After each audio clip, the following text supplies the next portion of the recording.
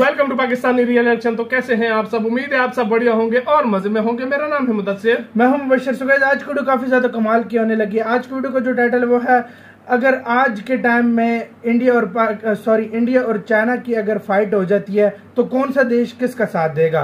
मतलब एक गुमान लगाया गया कि आज मतलब जिस तरह की इंडिया की फॉरेन पॉलिसी और जिस तरह की चाइना की है इसमें कोई शक नहीं है इंडिया की फॉरेन पॉलिसी ज़्यादा स्ट्रांग है एज कंपेयर टू चाइना के। तो कौन सा कंट्री देखते हैं किसका साथ देगा?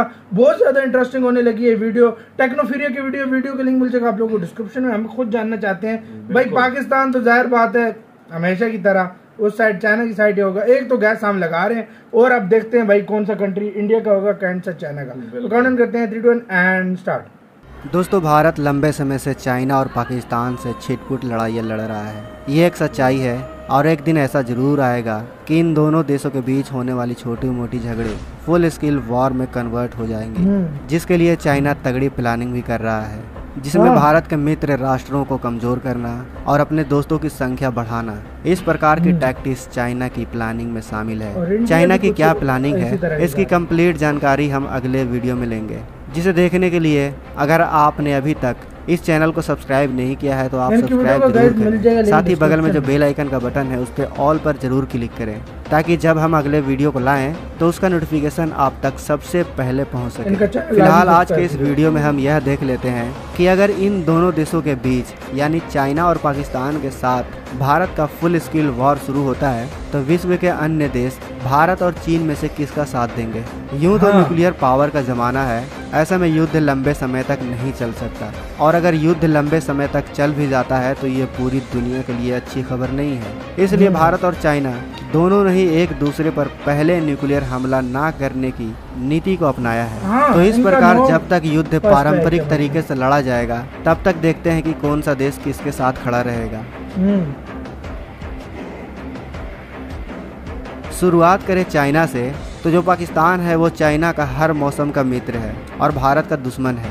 जो बिना किसी प्रश्न के चाइना के साथ बोलेगा इसी तरीके से एंटी हाँ। पाकिस्तानी सेंटिमेंट और भारत की बेमिसाल दोस्ती के लिए अफ़गानिस्तान भारत का हम्म। साथ देगा। अगर बात हाँ। होती है युद्ध की तो इसमें किसी भी देश की तो बहुत ज़्यादा हाँ अहम भूमिका निभाते हैं। लेकिन फ़िलहाल की घटनाओं को देखते हुए लगता है कि नेपाल चाइना का साथ देगा। इसी तरीके से भूटान भारत की सहायता कर सकता है। बीते दिनों की घटनाओं को देखकर लगता है कि तुर्की भी पाकिस्तान से अच्छे रिलेशन के बदौलत हम्म। चाइना का ही साथ देगा। लेकिन इसका बड़ा विकल्प है भारत के साथ इसराइल क्योंकि इसराइल हाँ। भारत का एक अच्छा दोस्त है।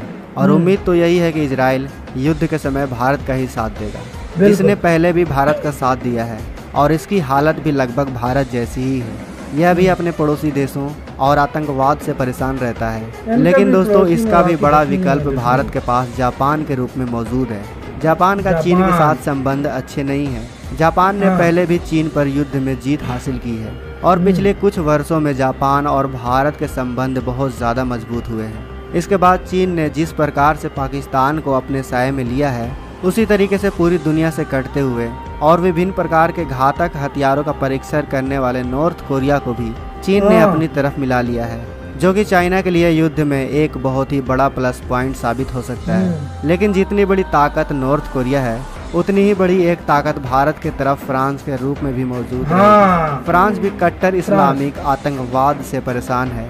फ्रांस ने पहले ही अपने देश में अंधविश्वासी ज्ञान की प्रथा को समाप्त कर दिया है और इसका रिलेशन भारत के साथ काफ़ी अच्छा है। हाँ फ्रांस के युद्ध में भारत के मिलिट्री से लेकर नए टेक्नोलॉजिकल हथियारों से काफ़ी मदद कर सकता है और जब युद्ध में नॉर्थ कोरिया हम्म। शामिल होता है तो इनके विरोधी साउथ कोरिया की हाँ। भारत से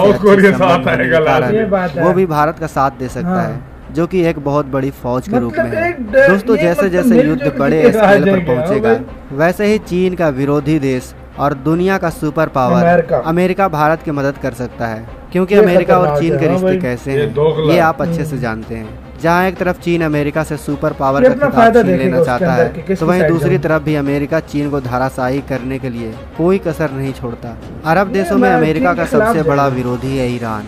ईरान मिडिल ईस्ट की एक बहुत बड़ी पावर है।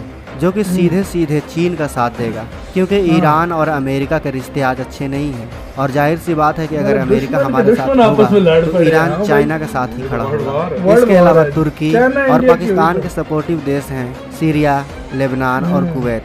ये भी इस युद्ध में तुर्की के बलबूते चाइना का ही साथ देंगे।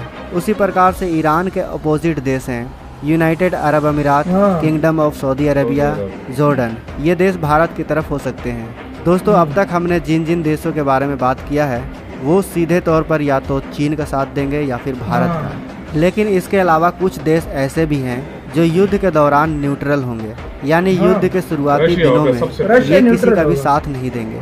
इसमें सबसे बड़ी शक्ति है रसिया। हम्म। अब आप सोचेंगे कि तो रसिया हमेशा ही भारत का साथ देता है।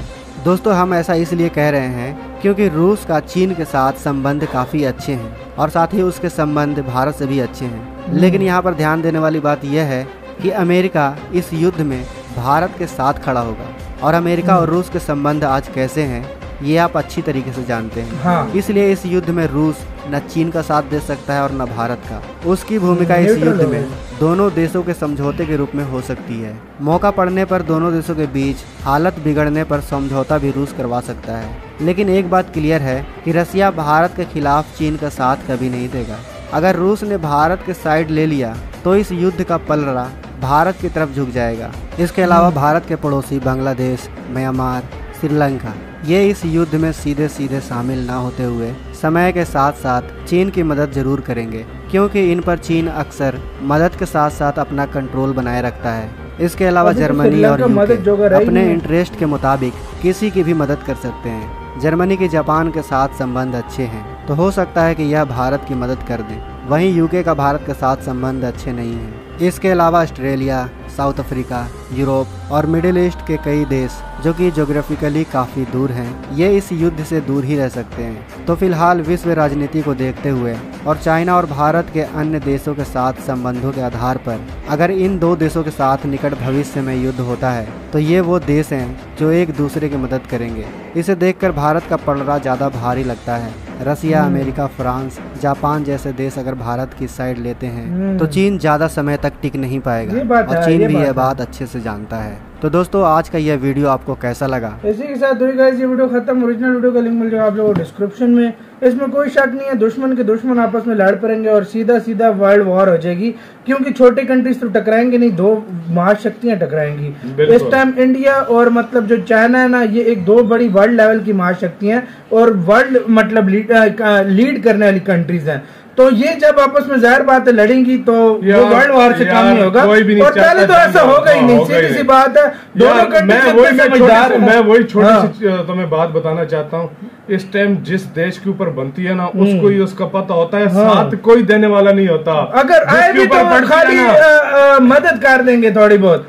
आजकल मदद भी नहीं उन्होंने क्या आ, उसकी मदद की है यूक्रेन के मामले में क्या मदद की है उनकी? हाँ यही कहते हैं कहते हैं नहीं, अपना और खुद बंदा लड़ता है ये बात है। जहाँ पर सुपर पावर्स मुल्क आ जाए ना इंडिया आ जाए चाइना आ जाए एटॉमिक कंट्रीज़ भी हो सब कुछ नज़दीक नज़दीक कोई हाँ, देश नहीं आता नहीं कभी भी नहीं आता और न्यूक्लियर हाँ। वेपन है भाई और- और- सीधा अगर इधर हाँ। से कोई आया तो इंडिया बोलेगा अगर तू बीच में हिला तो हाँ, तेरे तो ऊपर मैं न्यूक्लियर फेंकूँगा। यही बात और उधर से चाइना हाँ। बोलेगा जापान वगैरह को तुम में से कोई हिला तो मैं तुम पर और कंडीशन वाइज अगर हाँ। देखा जाए ना इस टाइम मुझे नहीं लगता सिर्फ़ इस टाइम इंडिया और चाइना के अलावा हाँ। कोई जितने देश बताए गए हैं कि वो एक दूसरे का साथ दे सके पाकिस्तान का पहले से बेड़ा गरक हुआ हुआ है पाकिस्तान में हाँ, अपना बेड़ा सिस्टम, गरक हुआ हुआ है पाकिस्तान ने जंग हाँ। लड़नी नहीं है लड़नी नहीं बैठा घर है। हुआ हम कहते हैं हाँ। कि भाई चुपचाप पहले अपना कंट्री सही करो हमारे। जंगों में हमें न डालो। और दूसरा दूसरी बात भाई और भी फिर ऐसे ही बोलेंगे। जहर बात है हर का कोई वो कर रहा है। हमें तो हाँ, ये कहना चाहिए कि पूरी दुनिया को एक मतलब साथ मिलकर काम करना मतलब ये एक तरह से आला है ना? मतलब ये आला बताया गया। मतलब ये यार- अपनी तरफ़ से यार बताया गया है हाँ। पहले बताया गया उन्होंने हाँ। जिस तरीके से मतलब अपना हाँ। वीडियो में बताया गया ना हाँ। ये तो बहुत उन्होंने मतलब हाँ। तो बिल्कुल हाँ। सही बताया गया न्यूट्रल्स का भी बताया हाँ। गया जो न्यूट्रल रह सकते हाँ। हैं सब कुछ और इस लिहाज से अगर देखा जाए तो यार जंग वाकई हाँ। नहीं होता लेकिन अगर इस तरह आ जाए वाकई इंडिया का पड़ला भारी पड़ले भारी है। क्योंकि उसके साथ हाँ। बहुत सुपर पावर्स कंट्रीज़ होंगी गाइस आप लोग क्या कहते हो अपनी राय कमेंट सेक्शन में दो इधर वीडियो खत्म करते हैं अपना बहुत ज़्यादा ख्याल रखना तो यार बाय